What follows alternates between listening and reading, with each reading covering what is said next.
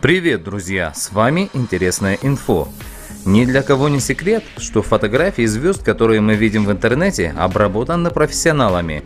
Гладкая кожа, отсутствие целлюлита, идеальная фигура, ровные ноги, сияющий взгляд, пухлые губы – все это заслуга графических редакторов.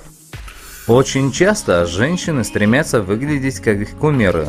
Да и не только женщины. Но возможно ли это? Современные эталоны красоты – это лишь продукт ретушеров, которые должны показать вам красивую картинку.